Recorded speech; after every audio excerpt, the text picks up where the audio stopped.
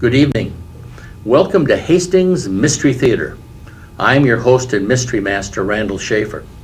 Tonight, the corridors of mystery take us back to 1932 for a KSB production called The Death Kiss. KSB was a movie production company that did not own a studio or any movie making equipment. They wrote a script or maybe purchased one, rented studio space, and hired all the technicians and actors.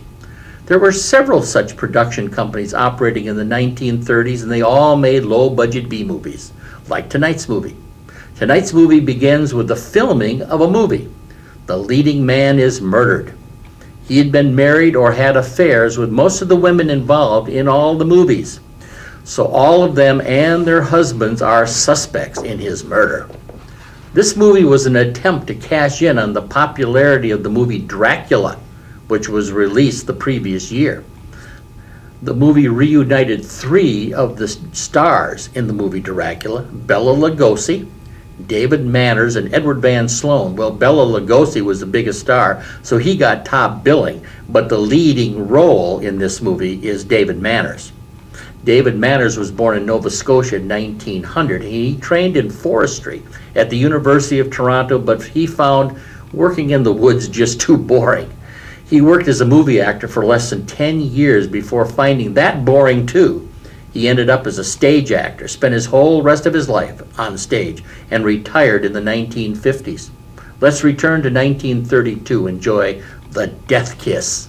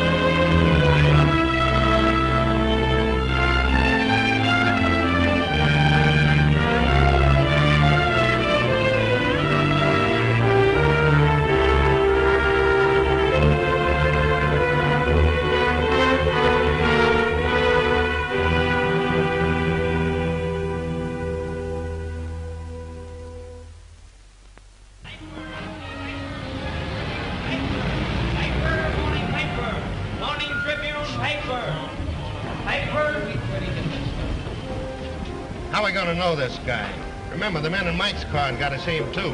Oh, never mind. I'm going to kiss him. And how? Good. You might as well make him happy. It'll be the last pair of lips that he'll... him? No. You don't think he could have gone away, do you? Here he comes now.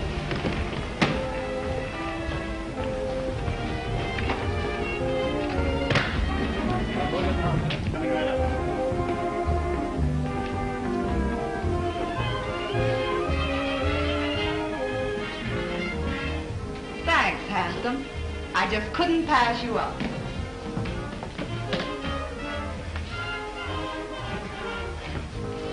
Believe it or not, I never saw her in my life before. I must have overlooked something. Well, bloody shame, sir. Most annoying. Right under me very nose. Your nose. I'll get the car, sir.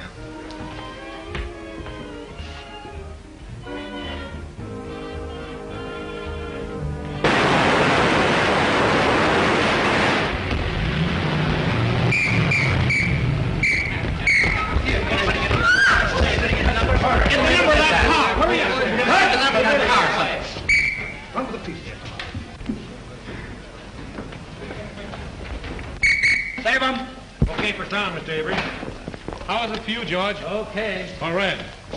We do it again, soak number 10. Up high, 99. Quiet. Shh.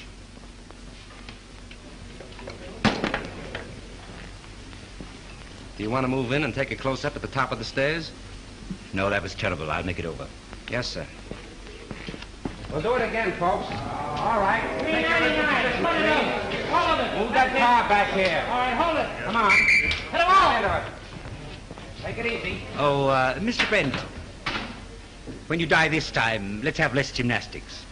And uh, don't spin like a top when you fall. Okay, That's okay, Frank. Let's go. Come on, folks. Yeah, move that one over a little. What's the matter? What's the matter? What's the matter? What's the matter? Stand back, everybody. What the devil? Hey, Pete, call a doctor. Come on, give me a hand. Let's get him to his dressing room.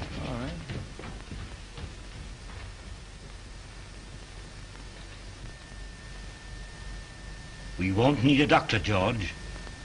He's dead. Dead? Dead?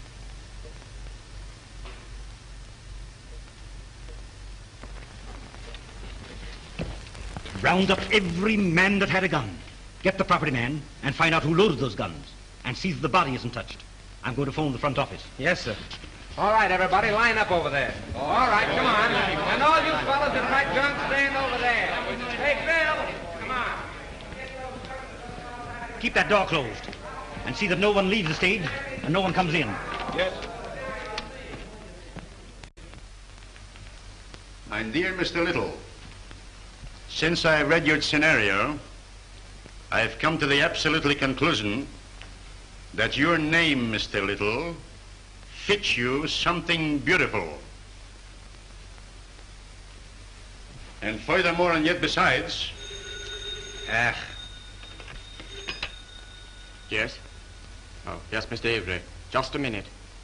It's Mr. Avery. tell him to finish on schedule. He's two days behind already. Talking to me is a wasting time. But he says it's important. That's the trouble. He's too important entirely. Hello. What? Brent. Shot. Dead. Oh, that's going to cost me a fortune. What a calamity. Quick. Call Steiner. Tell him, tell him Brent was killed, shot. What a calamity. What a calamity.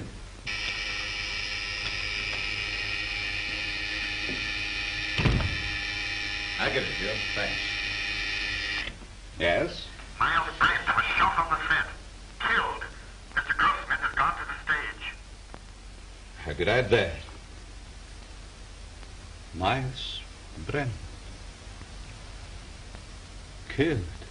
On general principles, not a bad idea, except that he happens to be one of our stars. Get back to your office and do what you can to keep the papers off this until you hear what happened. Don't give out any story until you hear from me. Sure, but rescue me as quickly as possible. They'll be on my neck just as soon as the police get the joyful news. Miss Manning. Phone the brigade on the lot. And tell them not to let anyone in or out until they hear from me. Very well. Thanks.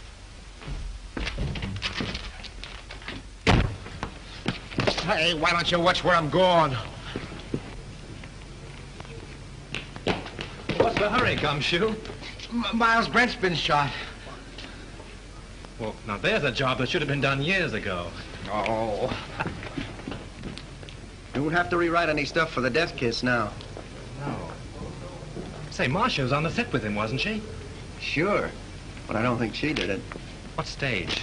Three. Drop this stuff in my office, will you?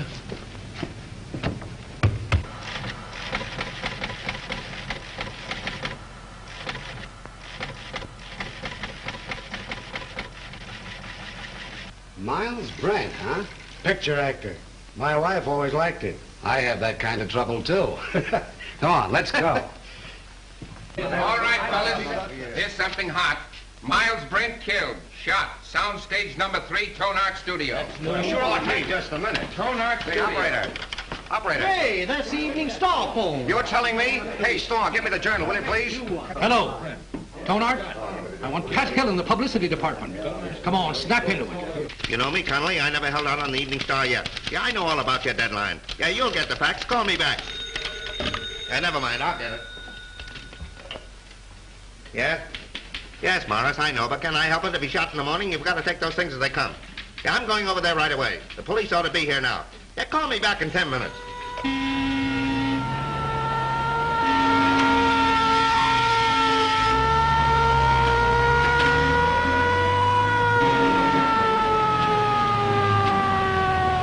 Hey, come back here.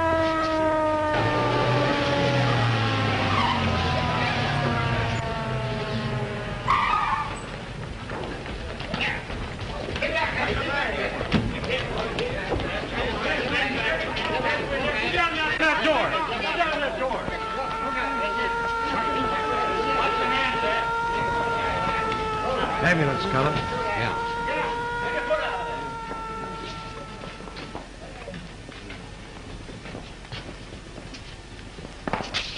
Detective Lieutenant Sheehan, Homicide Squad. Who's in charge here? I've been trying to get things straightened out for you. My name is Steiner, studio manager. What happened? Well, the company was shooting a scene during which several people fired guns at Brent. And someone used real bullets, huh? People do get hurt that way. That's the director's guess. Oh, the director. Did uh, he happen to guess who did it? No. Well, that's unfortunate. Looks like we'll have to do some guessing on our own. Come on, Hill, loosen up. Was it an accident or did somebody really bump Moss? I tell you, I don't know. Then let us in on the lot so we can find out. will I ya? can't let anyone on the lot. Marcia Lane was with him in the picture, wasn't she? Sure, she was doing the lead opposite him. Marcia, oh, his ex-wife. That helps the story. Hey, what's the name of the picture? The Death Kiss. The death kiss. Gee, what a tie-up. Pardon me. Hazoff's on the phone. Uh, just a minute, boys. I'll be right with you. But wait a minute, wait a minute. Can't we get the angle on this thing? Couldn't very well see what happened. And there were eight men with guns? Yes. Hmm. Well, it might have been an accident, but, Frank, you don't think it was murder? darling, I don't even know yet whether he was shot. Maybe he just died of old age. Maybe he never even existed at all. Now, you wait here. I'm going to have a look around.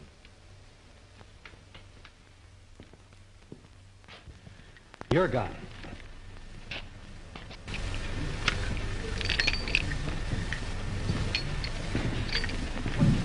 Yours. You break it.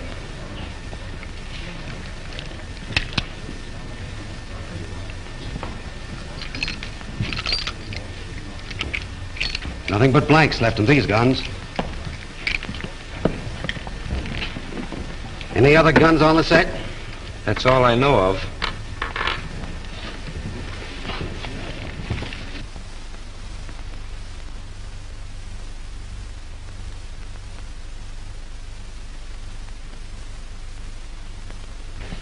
You see, Captain, it's, it's strictly an accident. Lieutenant Sheehan. What's your name? Leon A. Grossmith. I'm the president of this concern. Well, what about it? Now, look here, uh, Sergeant. Do you realize what this cost me already, huh?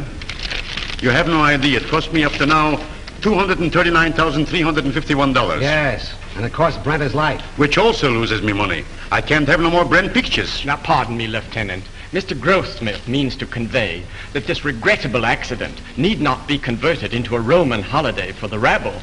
Now, I assure you that Mr. Grossmith feels deeply, very deeply, the tragedy of this affair. And his point is, naturally, not to throw consternation into that great and unseen army of Mr. Brent's admirers. Now, that is precisely what Mr. Grossmith means. That's just what I was going to say. Mr. Steiner. Mr. Yes, Steiner. uh, pardon me. What is it? The papers are on my neck. I've got to tell them something. There's no use stalling any longer. Uh, they've got a story now about a mysterious woman. Who is she? They don't know themselves, but they say it makes a great story. Tell him it was an accident. They won't believe it. Then make him. You don't know those boys. They've got imagination. I don't care if they've got fallen arches. Tell them the Brand shooting was an unfortunate accident. Yes. Is that satisfactory to you, Lieutenant? Nothing satisfactory to me. I can't tell what it is because I don't know myself. Oh. Here's all you had on him. Oh.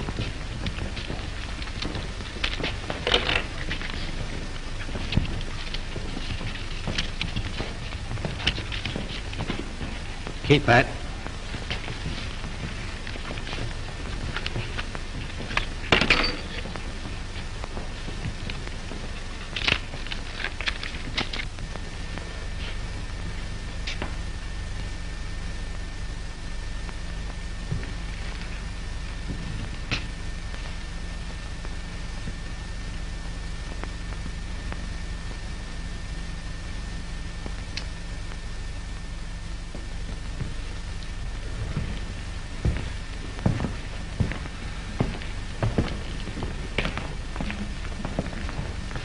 I'm sorry to gum up the works, but it wasn't an accident.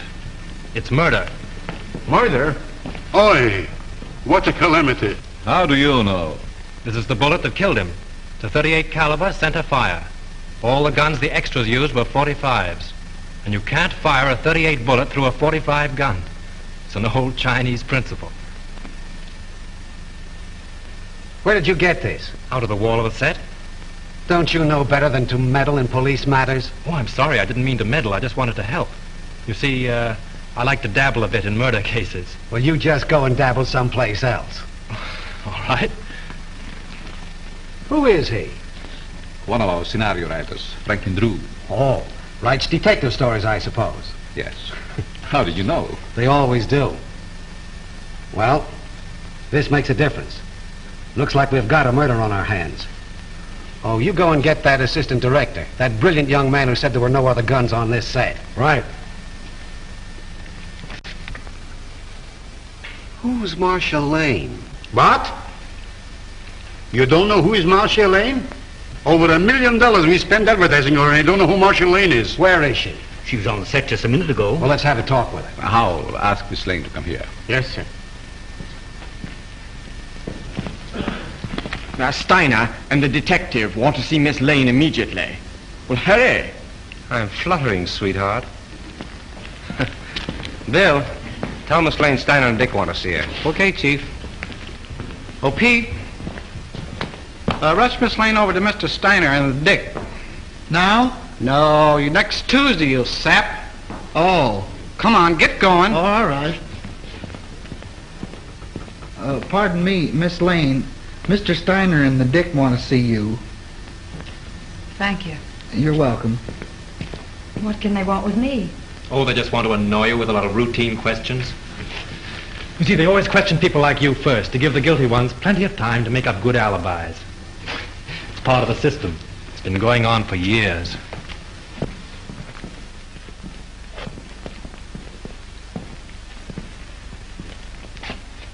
Sit down, Miss Lane.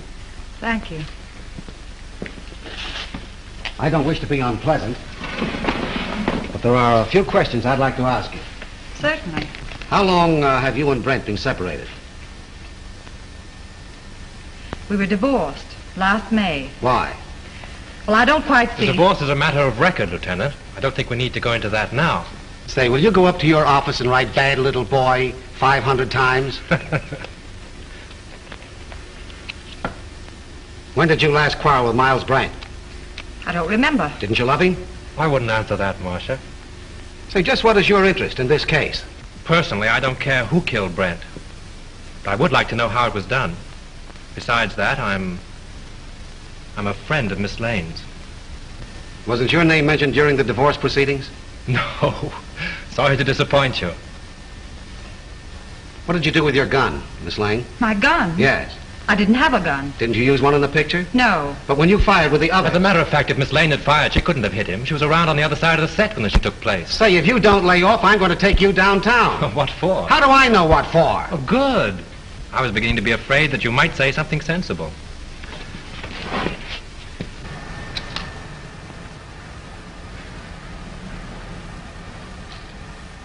Hey, what are you trying to do there, huh?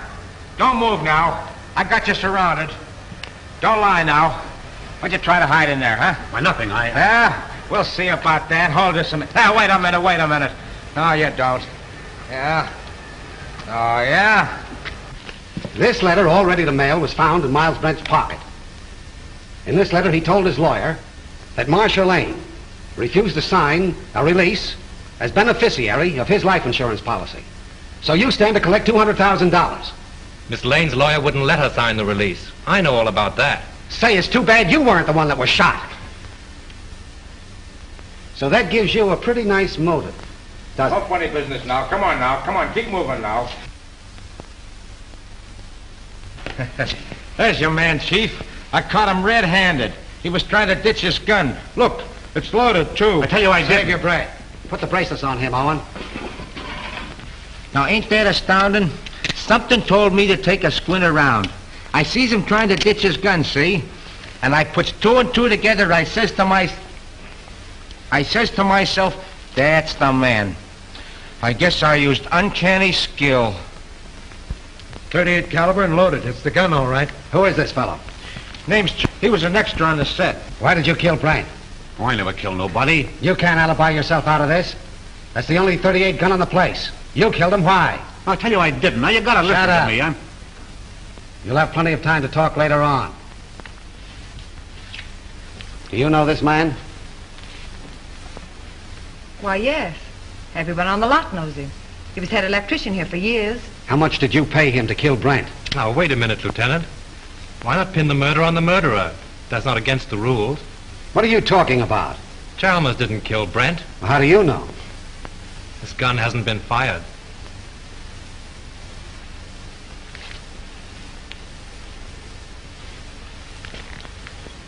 How did this gun come to be loaded?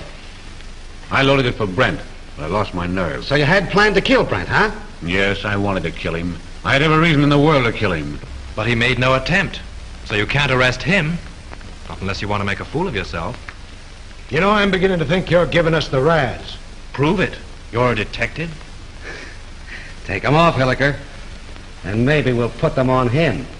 Well, we seem to be right back where we started. Yes, perhaps you have some very valuable suggestions. Yes, I have. What? The cameras were photographing when Brent was killed. There might be something very interesting on the film. It wouldn't hurt to look. Not bad.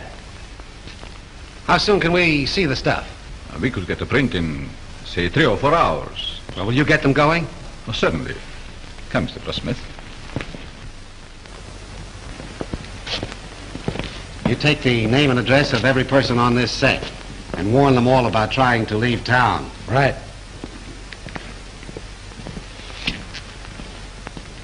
In any of your books, does the detective ever sock the novelist on the nose? no. Write it in sometime. Seems to me like a good idea. Bill, George?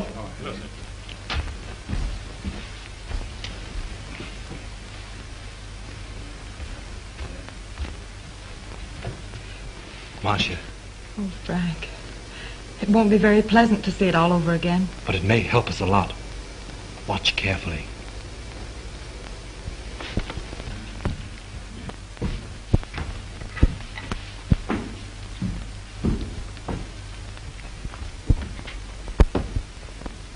Is everybody here? I think so, Mr. Grossmith. Mr. Steiner's in a projection booth. He'll be right in. All right. Here he is now. You ready, Mr. Grossmith? Yes. Mr. Grossmith's ready. Ah! Quiet, please. Quiet.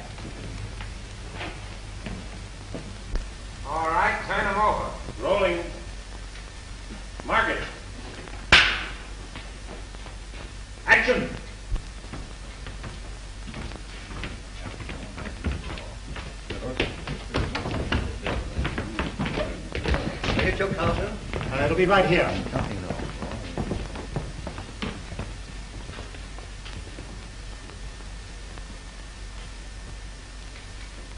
Thanks, handsome.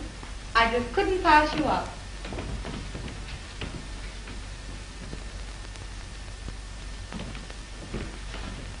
Believe it or not, I've never seen her in my life before. I must have been overlooking something. Oh, ruddy shame, sir. Most annoying. Right under my very nose. Your nose? Oh, I'll get the car,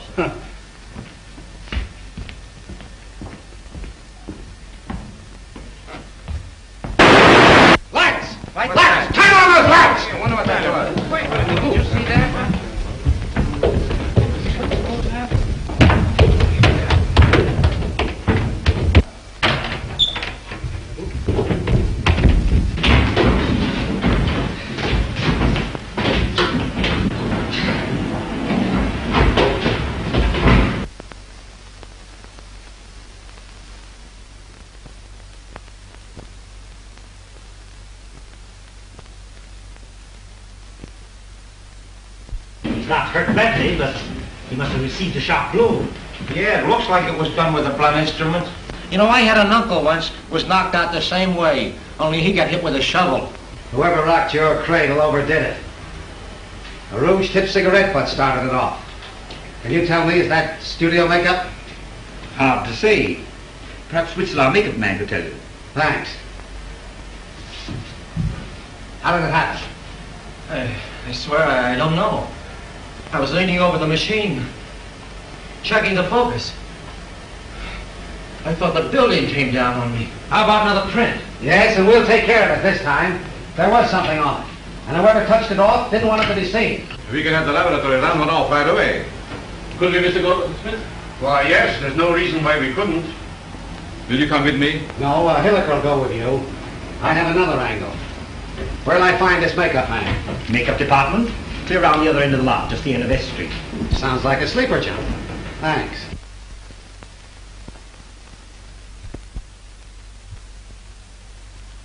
It's a special panchromatic rouge of my own make. Only two people on the lot are in the habit of using it. Who are they? Miss Collins and uh, Miss Lane. Who's Miss Collins? Uh, she's one of our players. Is she in this picture you're photographing? No, I believe she's working in the Night Riders. Uh, They're out in location. And the only other person on the lot that uses this rouge is Marcia Lane? As far as I know. I see. Thanks. You're welcome. Now, wait a minute. You have quite a stock of this rouge on hand, haven't you? A few tubes of it? Just as I thought. Anybody could get at it. Not very well. All the makeup that is not in use is kept in the cabinets. And the cabinets are locked? Yes. Excuse me. Hello. Uh, just a minute. It's for you. Hello. Yes, Hilliker. How? All right. You stick around there and see what you can find out. Tell Steiner I'll see him at his office. The negative of that last scene has been ruined. Someone poured acid in the container. This thing gets more muddled every minute. You telling me? How do I get to Steiner's office? I'll show you. Thanks. And you're not going with me. Uh, right at the head of the street. Thanks. You ought to have a map of this place. Oh, Lieutenant. Of course you know that anybody could have taken the rouge from Miss Lane's dressing room. Sure. A very interesting detail.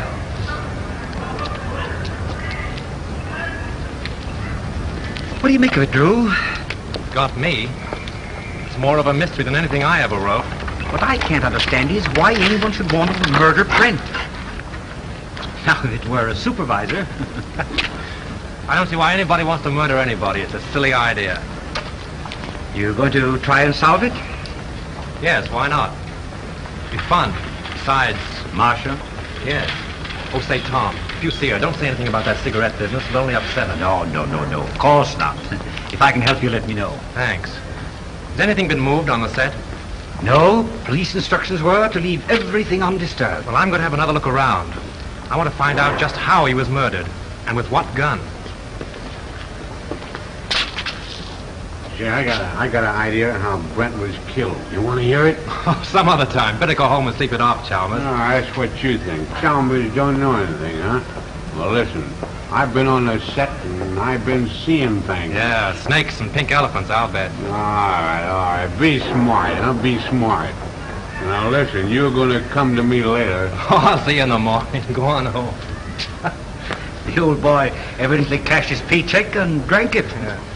Want to have a look around with me? No, I'm not much of a detective. Besides, Mrs. Avery's waiting for me. All right. Good luck. Thanks.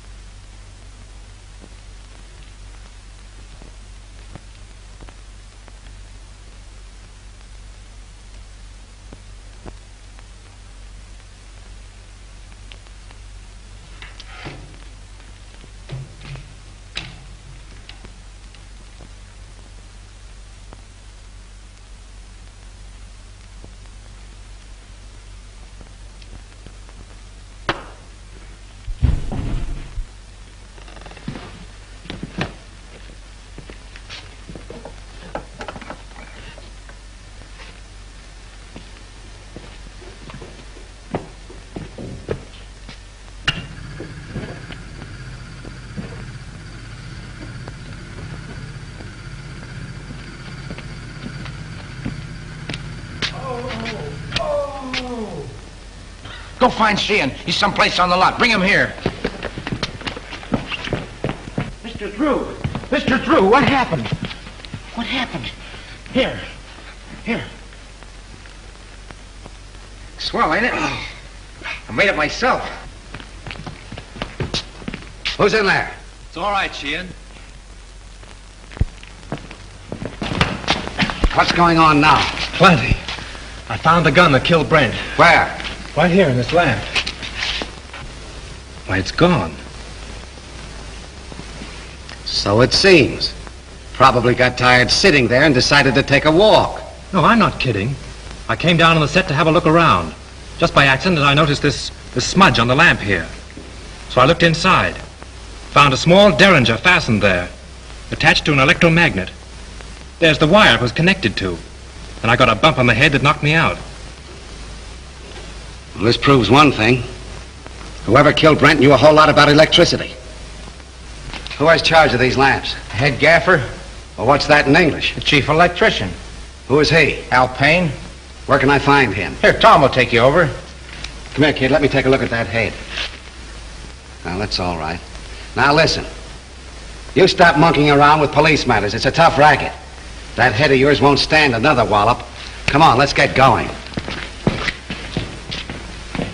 Mr. Drew, I've been thinking. No.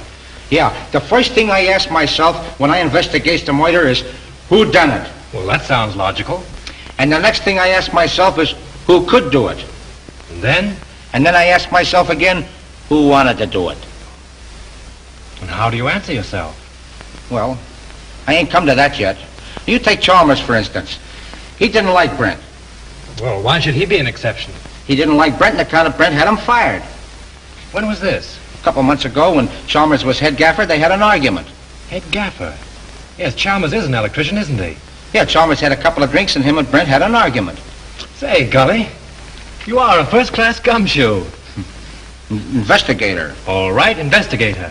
Right now, will you run up to the casting office and investigate and find out where Chalmers lives? Sure. What are you going to do? Put the finger, I mean, apprehend him? Maybe. You want to come along? Oh, boy, I'll say. Got a gun? Yeah. Oh. Got my gun, my badge, and my, and my well, you bracelet. won't need those. Come on, let's get going. The director hasn't anything to do with it. The cameraman really sets the lights. You mean he tells you where to put the lights? Yeah. When was this set lit? The afternoon before. They rehearsed the scene with the principals so they wouldn't hold the company up when they called the extras. Do you remember anything particular about that one light? To be truthful with you, we had a lot of arguments on that set. Mr. Steiner didn't like the photography and he wanted more light. Steiner? Was he there when it was rehearsed? Yes. Who else? Well, they're all there, with the exception of the extra people. There were no extras there, huh? No, only Chalmers.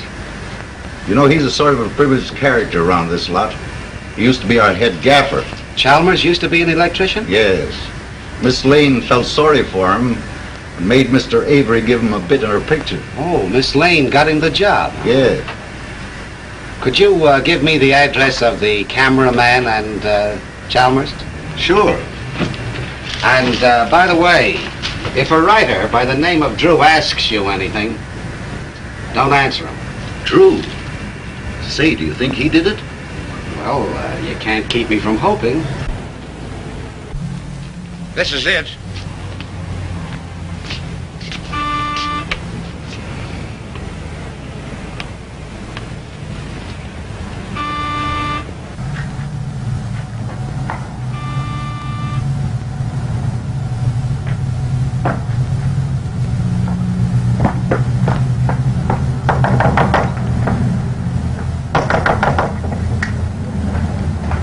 Look, uh, Chalmers is in trouble again.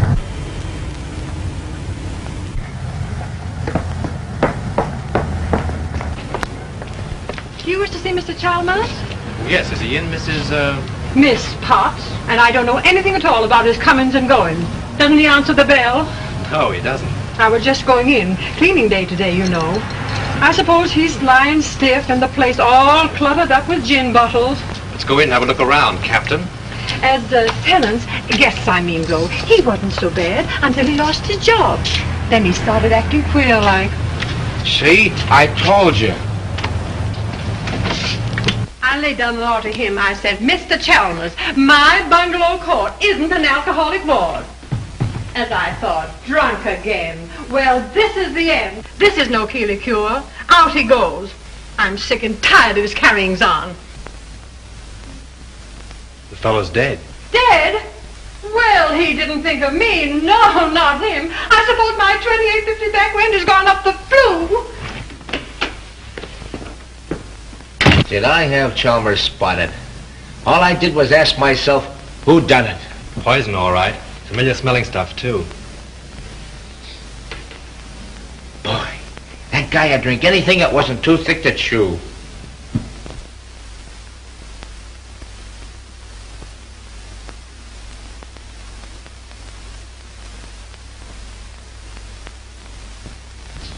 Well, I guess this about washes up the case, eh, Mr. Drew?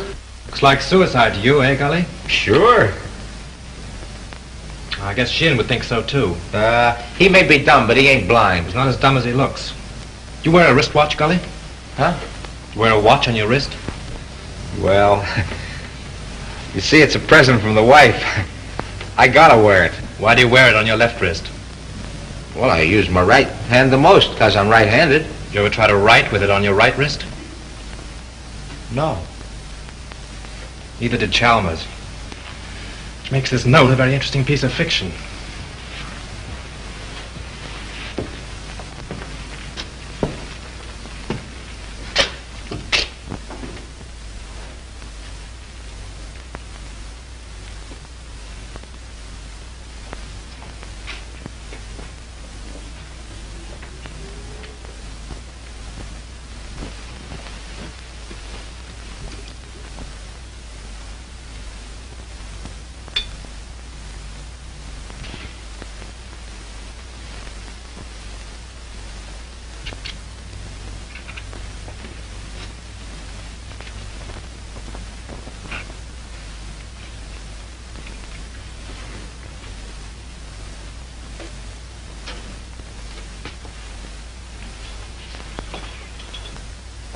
Say, Gully, come here.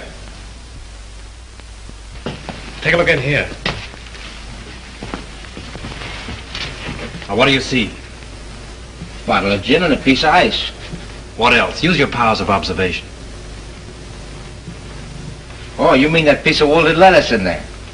Don't you notice that little service door in the back has been left open? Whatever. The iceman probably left it that way. My wife says you can't trust those icemen anyway. If the iceman had left that little door open when he put in the fresh cake, there wouldn't be any ice there now. Oh, I never thought of that. Let's have a look outside.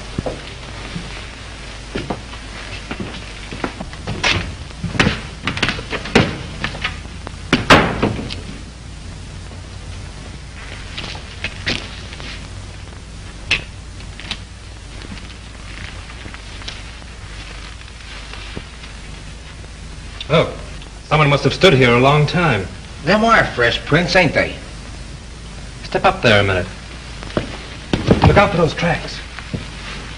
Now what? Look through the window. You see Chalmers sitting there? Yeah, the door's open.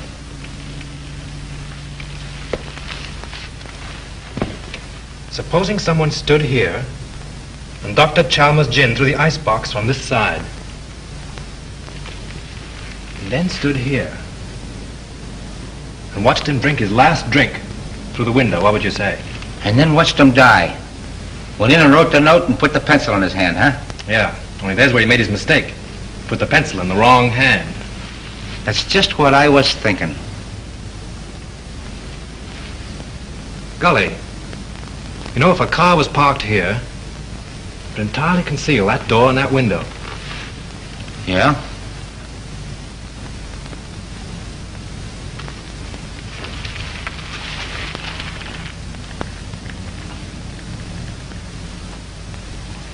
Then Chalmers didn't kill himself, huh? Let's leave that to Sheehan. If I'm any good as a guesser, he ought to be here by now.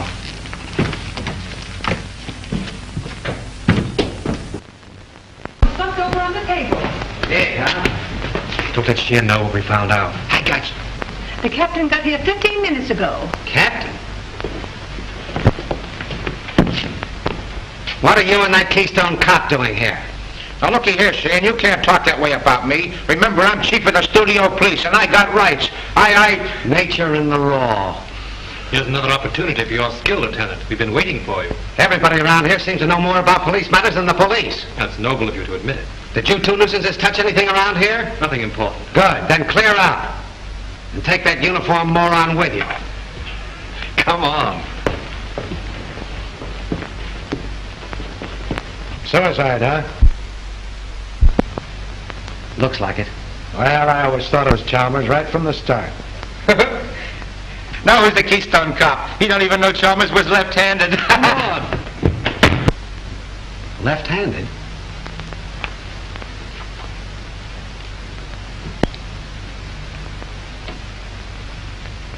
Sure. That starts it all over again.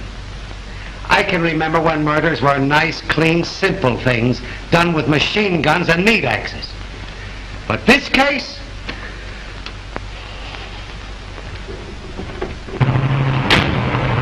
Right, right, straight back. All right.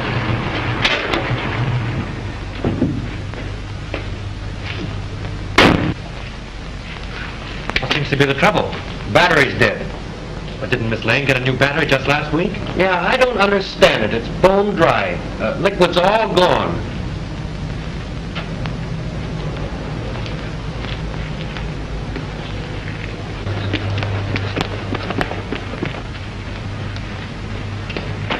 I thought. We were right. Poison. Electro... el- Electrolytic liquid, sulfuric acid base, grain alcohol, 38% distilled water, 33% electrolytic liquid, 27% by volume. The man said a teaspoonful in a glass of water will kill a man dead. Electrolytic acid. Did he say anything else? No, that was all.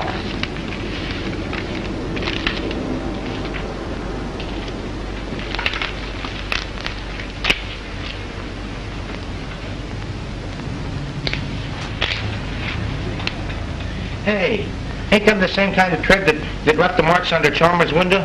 Oh, there's probably a thousand cars in the Hollywood that have that make so make of tire. Yeah, I never thought of that.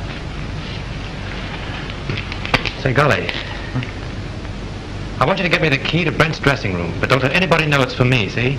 Say, I'll get you the key to the city if you want it. Now, I have a couple of things to do. I'll meet you here in half an hour. Okay.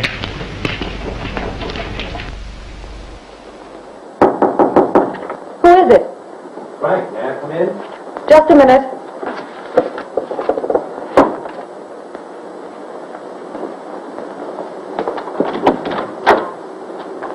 Why all the locks? I was just going through some old letters and didn't want to be disturbed. Oh, see? Where have you been? I've been waiting all afternoon for you. Oh, I've just been doing a little sleuthing. Marcia, you trust me, don't you? Why, yes, of course. You know I'd do anything in the world for you, don't you? I believe you would, dear. Then, is there anything you know about the murder of Brent that you haven't told me? No. I've just come from Chalmers' place. He's dead. Chalmers? Poisoned. You mean murdered? If it isn't that, it's a good imitation of it. Oh, how awful. Whoever did it used electrolytic acid. Acid out of a battery. The unfortunate part of the whole thing is that they used your car and the acid out of your battery. My car? That's why my car wouldn't start. Yes. I only told you this because I'm afraid Sheehan will find out and arrest you on suspicion. That would mean headlines and scandal. What do you want me to do? I want you to get out of here. Any place, just so Sheehan can't find you. But that, that's running away. But only for a day or two, just to give me time. I'll go to Mary's at Malibu. She'll help me. Oh, that's swell. Make it fast, will you? There's no knowing how close Sheehan's behind me. I'll telephone you when I get it all worked out. You may have a long beard by then, but I'll try and hurry. Bye-bye, sweet.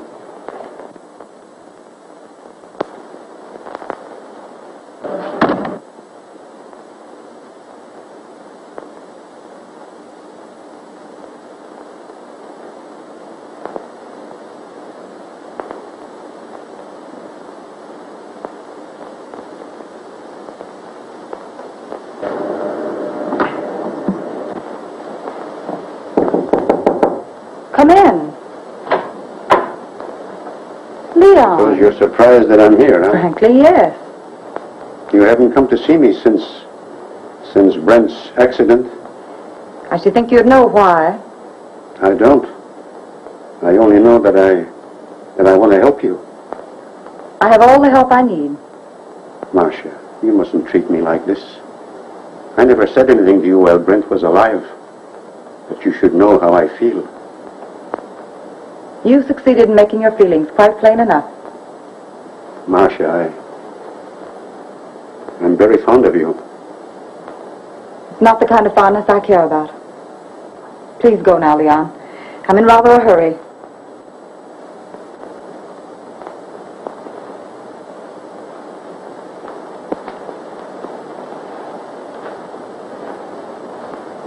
Marcia, maybe someday you will come to me and ask for help. Maybe you will apologize to me for laughing about how I feel for you. Perhaps Brent wasn't killed for nothing.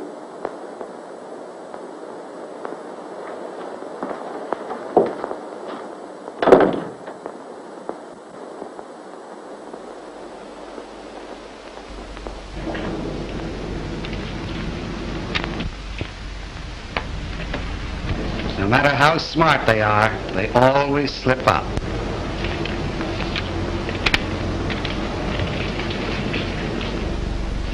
What's your name? Pardon me. Hello? Yes, sir. I will. Well, wait a minute. Here she is now. Miss Lane, Mr. Steiner would like to see you in his office. Thank you. What's your name? Uh, Mr. Whitcroft. Mr. Todd, please. Mr. Wheatcroft calling to see you. All right. Thank you. Pull down that blind.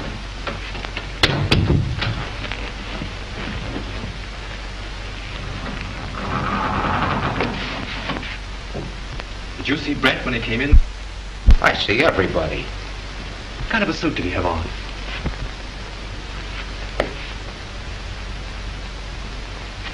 There it is.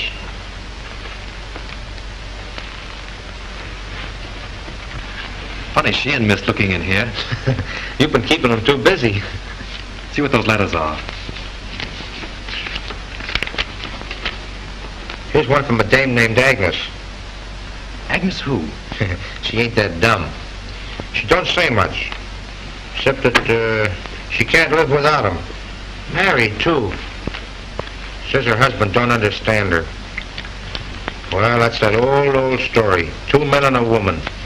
The internal triangle. What kind of a place is the Cliffside Inn? Oh, you know, one of those weekend places with all the Mr. Smiths and Mr. Jones and Mr. Browns. How far is Ocean View from here? Why, I'm beginning to think there's a woman in the case. No. Mr. Drew, this case is becoming complicated. Even for me. Come on.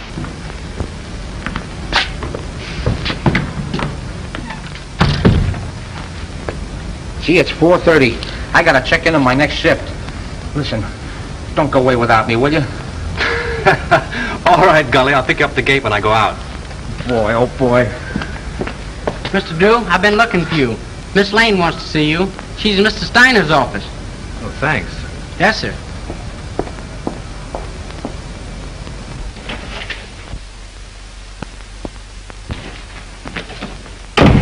Go right in, Mr. Drew. When did you find out your car wouldn't start? About an hour ago. Well, with all your dabbling, you didn't throw us off. Hmm, you've thrown yourself off if you think Miss Lane had anything to do with Chalmers or Brent either. All right, all right. Just sit down there. And keep quiet. Where did you go this afternoon? I went downtown. In your car? Yes, Where did you park it? on the street, in front of L. Smith's flower shop. I ordered some flowers for Miles, uh, Mr. Brent's funeral. Then where did you go? You went to Chalmers' house, didn't you? Wait a minute. I won't stand for this. You can't trick Miss Lane into answers. And have little boy Blue over there take him down. Now keep quiet, Drew. You're trying to get at the bottom of this. Oh, no, you're not. Sheehan's trying to force Miss Lane into admissions of things she's never done. She might as well talk here as downtown. I've got a warrant for her. For what? Suspicion of murder. What's your theory? It's as simple as ABC. Yes, it would be if you thought of it. Chalmers killed Brent because he hated him and she offered him money. Then she got frightened and killed Chalmers, thinking that he would get drunk and give it away. Every piece of evidence we have got points to her. It was her cigarette that blew up the film, her car that made the tracks outside of Chalmers' house, and acid from her battery that killed him. Oh, that's a lot of bunk. I know, you've got to make an arrest. It's okay with you. Steiner, you can't sit there and, and let them arrest Marcia. Well, she has nothing more to do with these murders than, than Lincoln had to do with the burning of Rome. Mr. Drew, we don't know whether Lincoln burned Rome or not. And we don't care. But this man is a policeman, so let us hear what he has to say. If you're not paying you to quarrel with the police. Oh, I don't care if you pay me a dime. Sheehan, if you arrest Miss Lane now, there'll be a lot of nasty newspaper headlines. Hold off for 24 hours and I'll be responsible. Better than that.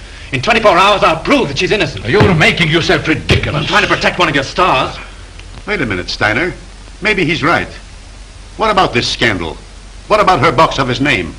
Ain't they got enough trouble here already without having Marcia arrested? Now, Mr. Grossmith, if you want to accept the responsibility, you can. But remember, this is a murder case. Two people are dead. And how do you know someone else won't be killed? For my part, I believe that the police should not be interfered with. Well, all I gotta say is that it's a terrible calamity. Let's go, Hilliker. I guess the explosion's over. Someone in this studio killed Miles Brenton Chalmers. And he's trying to pin it on Marcia Lane. But they won't get away with it. Come on, Miss Lane. Marcia, honey, I'm sorry. I'll get you out of this just as soon as I can. I know you will, Frank. I'm not worried, really. Come on.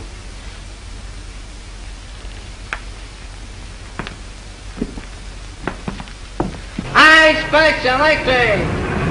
I read all about it here. I expect. Marcia Lane accused the studio murder. Uh, I expect. I baby. About it. Marcia Lane accused studio murder here. I baby. I read all about it. I get a question like me here.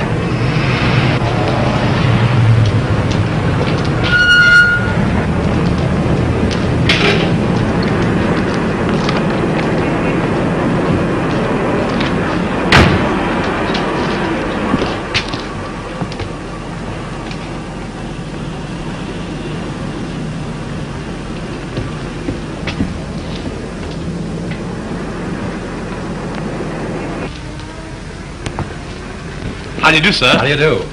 I'm from the publicity office of the Tone Art Studios. Yes? I'd like to see a list of the, uh, the people who sent flowers to the Brent funeral. Oh, I think I have a list. Thanks.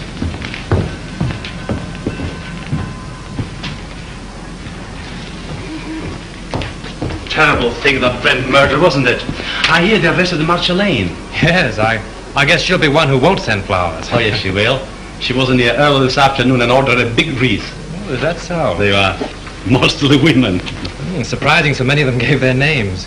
Oh, some of them didn't. There was a lady near just now who signed the check, then thought better of it and uh, tore it up. Didn't want the husband to see the canceled check. Perhaps. Oh, pardon me. Yes, madame? Any gardenias? Oh, certainly.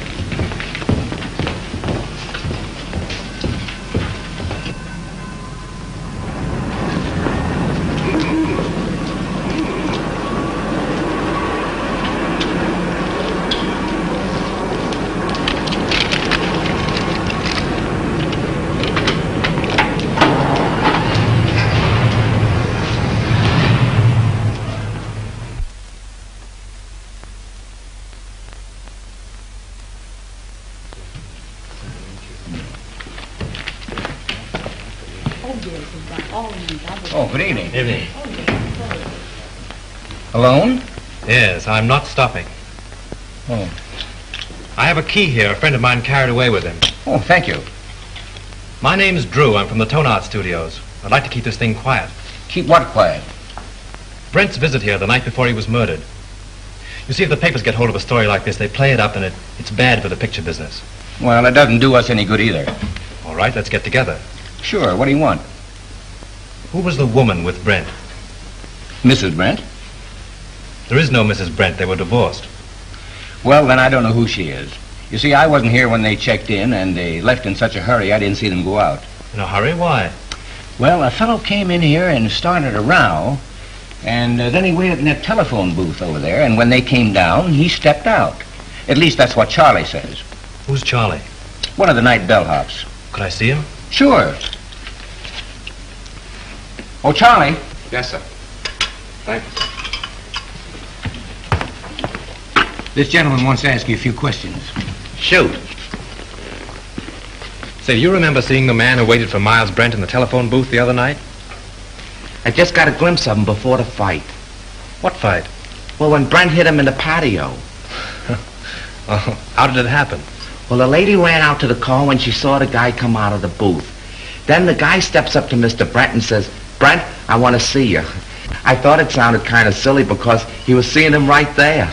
Well, then what happened? Well, Brent takes the guy outside in the patio. That's when he socked him. Well, then did Brent get into his car? Yeah, and the other guy picked himself up. Boy, was he mad. And was his face red. What did he say? what didn't he say? The it was awful. And then he beats it. Would you remember this man if you saw him again? Well, I might. And then again, I might not. It all happened so fast. Would you remember the lady? Sure. Say, she was a honey. Only she talked kind of funny. You know, like she was a foreigner or something. With an accent? Yeah. Oh, that's fine, Charlie. You've been a big help to me. Here. Thanks. Good night, and thanks. Good night. Say, are you a detective? No, I'm just from the studio. Will there be detectives here? I hope not. Call for Mr. Wallace. Calling Mr. Wallace.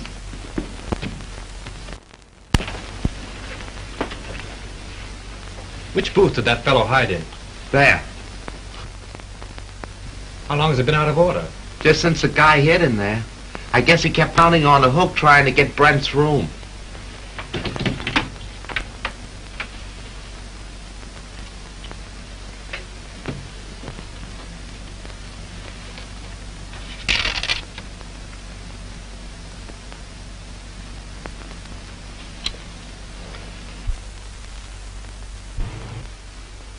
Shelf, shelf. That's all you can think of is shelf.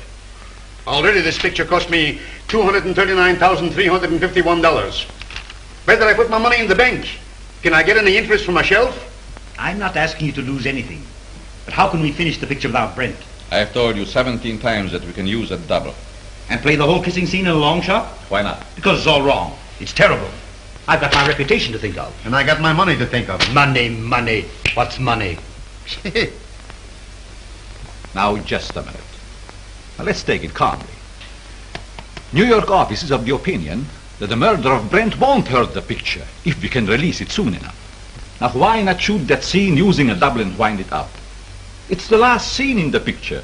It can't possibly do you any harm. Exactly. Steiner has got right. Oh, all right. What's the use of arguing? Good. We can get the company together and shoot it tonight. Oh, wait a minute. What about Marcia? Oh, we can arrange with Sheehan to use her for that one scene. Yeah? She can come over with the whole police department if he likes. Everybody's on call and everything on the set is standing. We can shoot it in half an hour. Dad, uh, hold on a minute. What time? 7.30. Say 9.30. Uh, Make it 9 o'clock. We'll save a half hour. Dad, we're going to shoot the last scene of the death kiss tonight. Round up the company for a 9 o'clock call. Sure, Mr. Steiner. Mac, we're retaking the death kiss. Get busy on the call. Okay. You've got Brent's double on call, haven't you? Yes, I'll have him all right. But say, what about Miss Lane? I take care of her. Silk on that 36. Hey, Mac, will you put that light over in the look? Screen 80, will you? Screen 80, Joe. Look, screen 80. Say 27 and 42. All George, right, check with up my camera. How about those up there? I think everything is all right. All right. Oh, good evening. You know Mrs. Avery? Oh, yes, of course. How are you? I'm surprised you've come to see this retake. put it down to morbid curiosity. That's the woman of it. She insisted on coming. Now, come along with me. I will make you comfortable. He's very good with the ladies.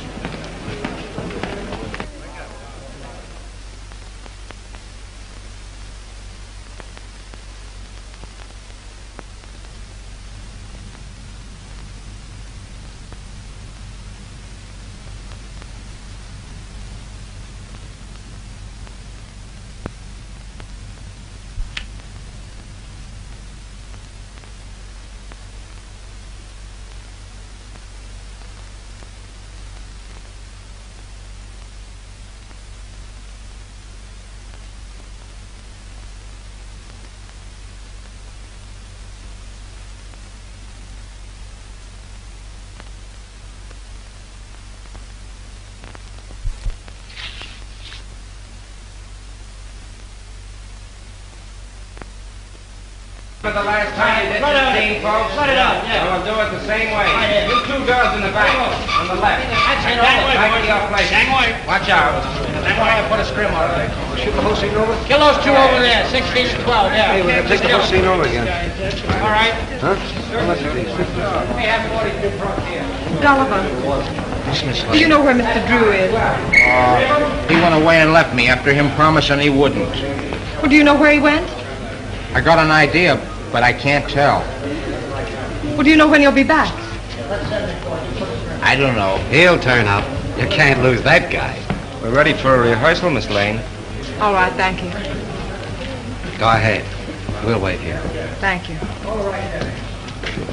And just as you reach here, Miss Lane steps up and kisses you. Now, naturally, you're surprised because you don't know her. Then you turn, read your line to the doorman, and walk out to the curb. Right. I'm so sorry about everything. I know it's going to be difficult for you, but I'll try and help you all I can. Thank you, Tom. Oh, you know Mr. Johnson. Yes, how do you do? Shall we try it once? Oh, George, let's have quiet, please. Quiet! Rehearsal. Take your places, please. Come on. Sound ready for rehearsal? Okay. This business gives me a funny feeling. What do you mean? I don't know, it just gives me a funny feeling, that's all. Supposing it should happen somebody else's shot. It's ridiculous. Well, maybe it is and maybe it ain't. Anyway, I don't like the set and I don't like the title of the picture. The Death Kiss. Yeah. From now on, we have no more titles with death in it. Getting superstitious? Ah, say, you ain't got no nerves. Well, I ain't afraid either, but I'm just a little scared, that's all. What can possibly happen? Mhm, that's it, anything. I must have been overlooking something. A bloody shame, sir. Most to nose. Right under me very nose. Wait a minute. What's the matter now? I can't get it with the mic there. Well, go ahead and fix it the way you want it. Swing it in here, Father. Come on, Father. Now down a little closer. There. Is that in your picture? No, you're, you're safe there. Okay, test it. One, two, three, four. One, two, three, four. Microphone number two. All right, let's go. Okay for sound.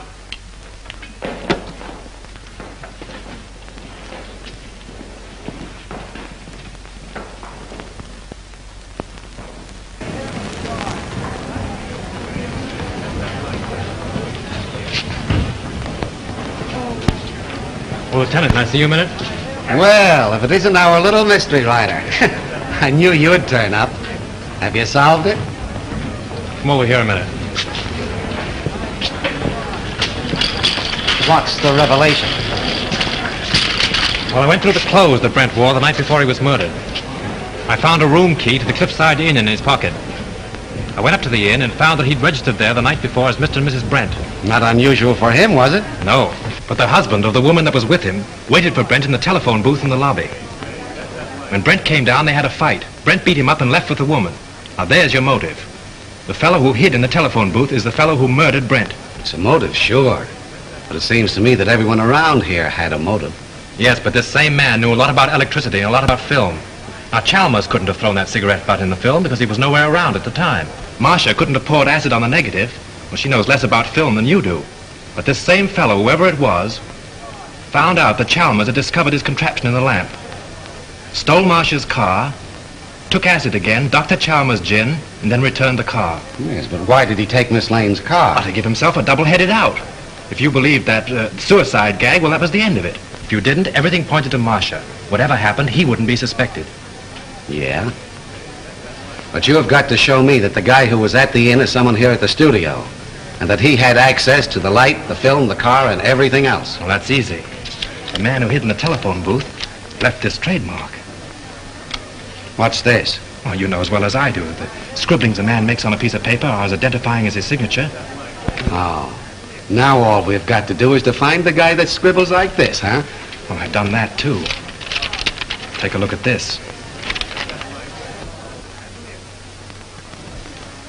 Where did you get this? In Grossmith's office. Now, Avery, Steiner, Grossmith, and Howell were in there having a conference. Then you think one of those four killed Brent? Yes. This is interesting. But I've only your word for it, and that don't count for much. Well, I'll keep your paper dolls. But you have got to get me more substantial evidence than this before I can let Miss Lane go.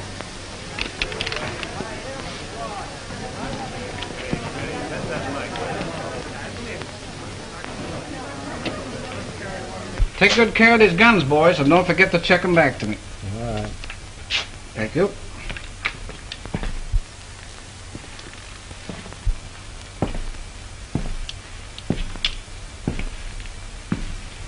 Sure the gun isn't loaded? You bet not. I just looked at it. You mind if I look? Not at all. That clear to you? All right, we'll take it. Is everybody ready? Let's make it. Uh, Johnson, powder up, will you please? Sure.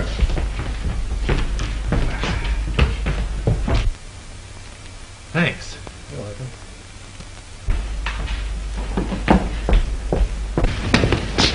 Frank, I've been so worried about you. Darling, I'm hot on the trail. I've got an idea. And if I'm right, I'll have this whole thing wrapped up and tied before you know it. But don't go away before I'm through, will you? Well, you bet I won't. Miss Lane, will you stand on a minute, please?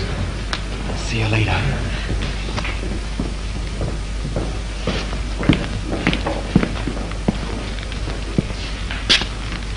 Isn't loaded, is it? What do you think? I'm crazy? Mind if I look? Oh, go ahead. Thanks.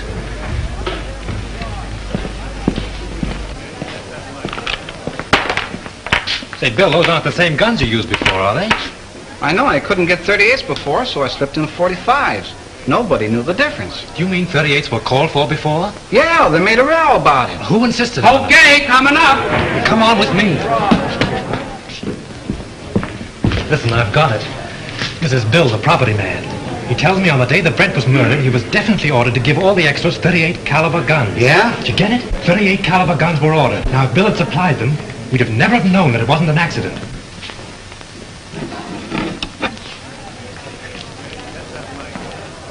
But he didn't.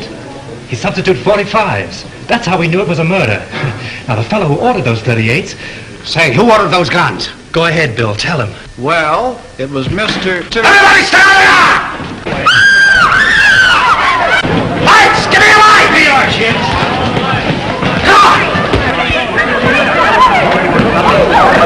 There he is! There he goes! Up there!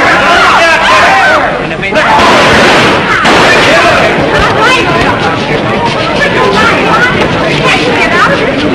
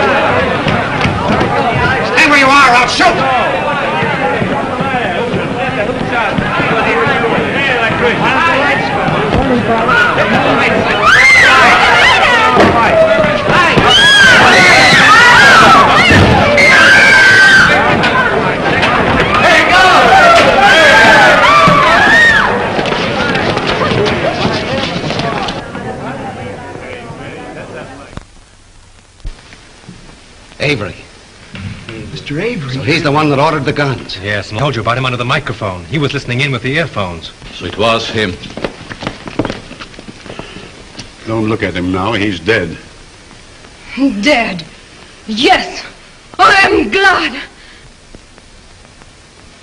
The woman at the Cliffside Inn, huh?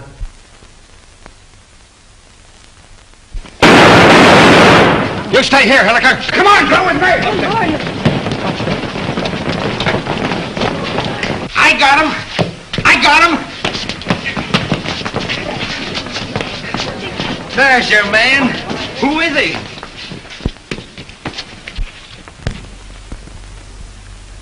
You'll suffer for this, you despicable cad. So, you're a policeman, huh?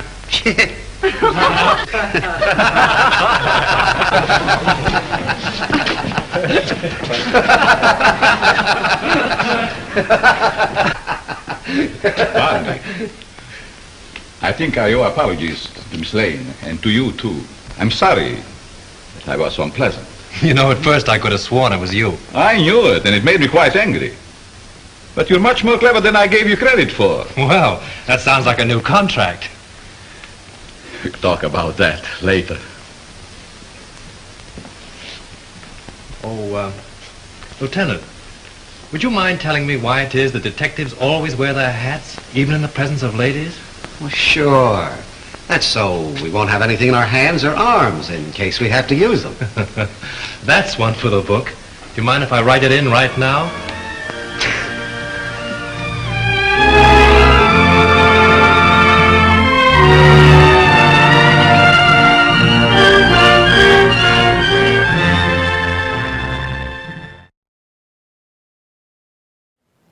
Well, did you like the movie? I hope so. Because me, my wife Judy, and production manager Dan LaClair, we enjoy bringing you these old black and white murder mysteries from the 1930s and 40s. And if you enjoy seeing them as much as we enjoy presenting them, we invite you to join us every Thursday and Friday night at 7 p.m. and other times during the week as our schedule allows. You can see the best of them right here Black and White Murder Mysteries on Hastings Mystery Theater. Good evening.